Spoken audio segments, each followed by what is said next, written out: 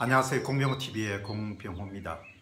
삶에서 기회를 잡는다는 것에 대해서 문득 생각이 흘러가기 때문에 한번 말씀을 좀 정리를 해봤습니다. 세월이 흘러가면은 이런저런 두각들이 드러나게 되죠. 열심히 살았지만 기대하는 결과를 만들지 못한 분들도 나오고 또 겉으로 볼 때는 좀 대충 살았는 것 같은데 상당한 그런 기회를 잡는 데 성공한 사람도 나오고 저도 이렇게 주변 사람들과 제 자신을 비교해 보면은 참 살아가면서 기회를 잡고 인생에 문이 하나하나 그런 열리는 것이 참 불가사의한 그런 면이 많다는 점을 어, 생각하게 됩니다. 그리고 기회라는 것이 참 잘 풀리는 경우에는 하나의 기회가 또 다른 기회를 갖고 또 그 기회가 또 다른 기회를 낳으면서 삶의 그 모습들이 큰 작품으로 이렇게 어, 진행돼가는 그런 분들을 주변에서 보기도 하고 또 자신의 삶을 통해서도 어, 약한 체험을 해내기도 합니다. 열심히 한다고 해서 반드시 잘 풀리려는 그런 보장은 없는 것이죠. 노력했지만 기회를 놓칠 수도 있을 것 같습니다.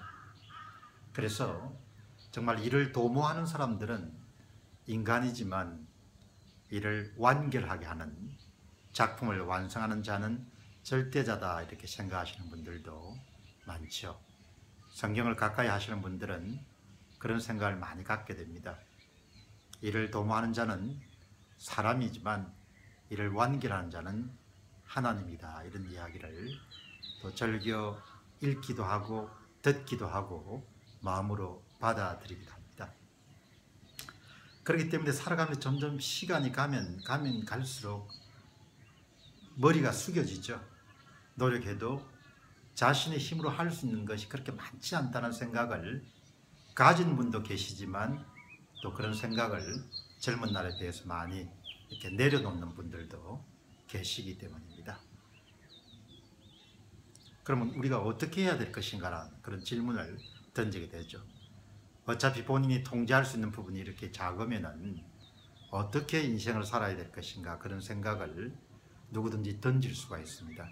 저는 그때 단호하게 이야기할 수 있는 것은 인생은 성취의 총합일 수도 있지만 또 인생은 경험의 총합으로도 해석할 수 있다. 따라서 한쪽에 경험을 놓고 또 다른 쪽에 성취란 부분을 놓으면 경험을 하면서도 성취까지 이룰 수 있으면 그거는 최고의 삶인 것이고 성취가 좀 미흡하지만 본인의 경험을 찐하게 살았는다면 그것도 아쉽지만 의미 있는 그런 인생이지 않겠냐는 생각을 하게 됩니다. 그렇기 때문에 누가 저에게 기회와 삶과 어떻게 살 것인가 하는 그런 질문에 대해서 아, 물어보면은 저는 결과 여화가 어떻게 나오든지 우리가 정확하게 아는 것은 불가능하지만 최소한 내가 지금 통제할 수 있는 것, 관리할 수 있는 것, 그리고 내가 마음대로 할 수 있는 것은 지금 바로 이 순간에 내가 해야 하는 일, 할 수 있는 일에 전력 투구를 하고 최대한 즐겁고 유쾌하게 자신의 일을 받아들인 것이 아니겠느냐 그런 생각을 하게 됩니다. 일의 최종 결과물은 설령 우리가 통제할 수 없을지라도 우리가 완벽하게 장악할 수 있는 것은 제가 지금 여러분에게 드리는 이 방송을 하는 이 순간 또 그리고 방송을 어떻게 할 것인가 하는 부분은 제가 완벽하게 관리하고 통제할 수 있고 하고 또 자지우지할 수 있지 않겠냐 생각을 하게 됩니다. 이런 지금과 내가 해야 할 일이 연속적으로 이어지게 되면 아마도 가능성 면에서 확률적인 면에서 자신의 삶이 나날이 나아지고 원하는 그런 삶에 다가갈 수 있지 않겠냐는 생각을 해보게 됩니다. 여러분 오늘 아침에 제가 드린 방송을 보신 분들은 이 뒷 배경이 자욱한 안개로 쌓인 것을 아마 기억하실 겁니다. 삶도 마찬가지인 것 같습니다.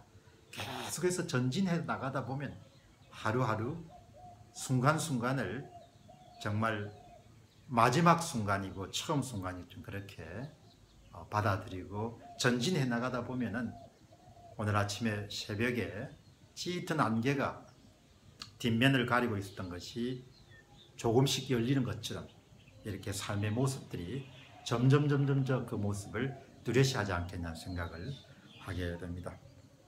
오늘 공병호 TV에서는 삶과 기회와 어떻게 살 것인가 하는 그런 주제에 대해서 여러분들에게 말씀을 드렸습니다.